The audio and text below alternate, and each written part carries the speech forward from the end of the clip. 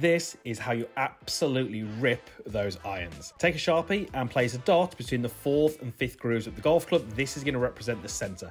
The only way the center of that golf club can line up with the back of the ball is if the shaft is leant forwards. If it leans back, you're only going to be using the bottom few grooves. So next, take a setup and present the dot to the back of the ball. This is going to be how you create your impact.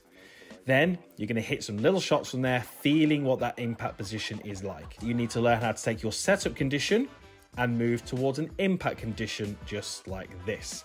Once you feel comfortable, then you're just going to place the ball in and move from setup to impact. Next stage is to add a little bit of speed. And then the way you test this is if you've done it correctly, that dot will have transferred from the golf club over to the back of the ball.